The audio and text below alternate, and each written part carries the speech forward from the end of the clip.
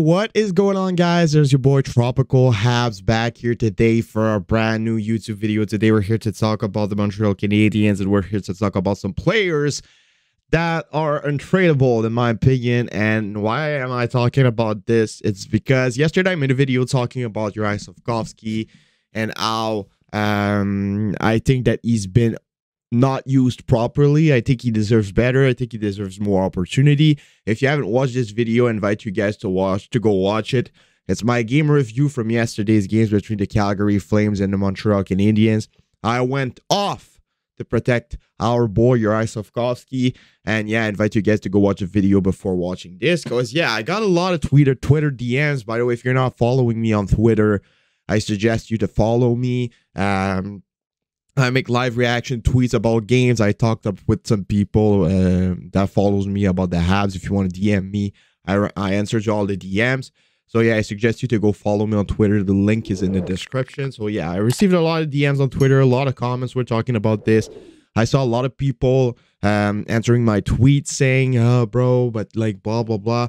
Uh, basically, in that video, I complained about Joel Armia and Yevgeny Dadonov and all of those guys being used instead of Juraj Slafkovsky and some power play opportunities in three on three and overtime and all of that.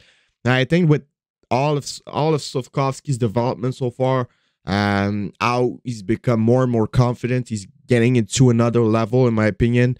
The fact that they're still using Joel Armia and Yevgeny Dadonov in front of him in critical situations makes me sick to the stomach because um, Slafkovsky deserves that ice time we are in a development season. We are not going to win the Stanley Cup.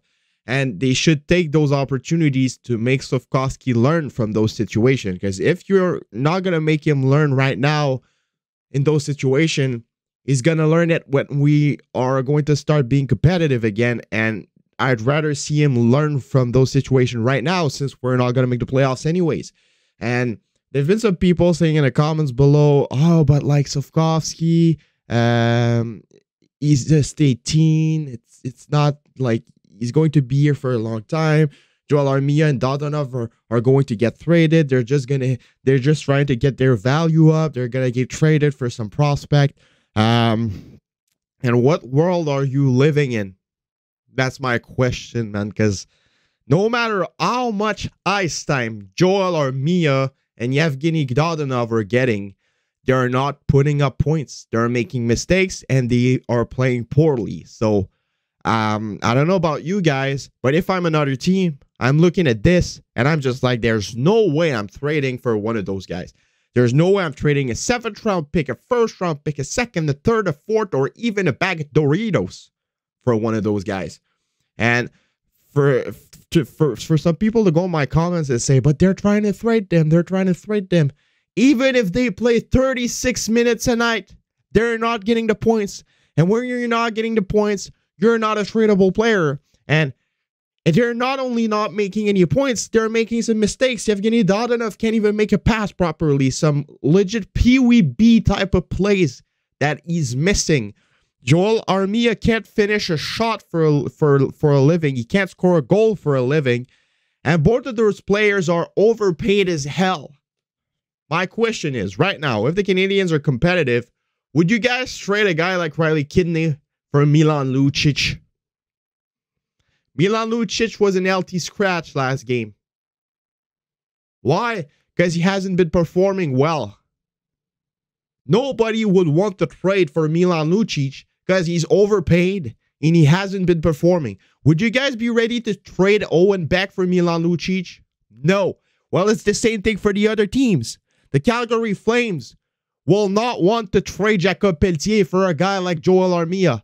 There's no team in the NHL that would want to trade a draft pick for a guy like Joel Armia, who's overpaid and that's not producing at all. Stop saying, but they're playing him instead of Slafkovsky because they want to trade him. No, they can't trade him because he's not performing. And even if you give him all the ice time in the world, and it's it's it's been proven already, he's not performing anyways. They've been giving all the ice time, all the chances in the world to be performing, but they are not performing. When that happens, you need to get them out the lineup and play the young guys instead. because you're not going to be able to trade them anyway, no matter how much ice time you give them, because they are not performing. And they're giving a bad example to the young guys in the team. Look at the Maple Leafs back then. Joffrey Lupul and all of those guys were playing absolutely terrible. At first, they wanted to trade them away, but since they were not performing, they sent them to the AHL, and we never heard about them ever again. Uh, I think that's what the Canadiens needs to do. They need to focus on development first over trying to get the value of the players up. Because even if they're playing half the game, they're not going to get their value up because they're not performing and they are overpaid. So better off developing the young guys, better off trying to get them into a situation when they can when they can learn. That's my opinion. And stop saying it's because they want to trade them. They're not going to be able to trade them anyways because they're not performing. All right. So yeah, let me know what you guys all think about this in the comments below. It's been your boy Tropical Habs, and I'll see y'all later for another video. Have a nice rest of your day, and bye-bye.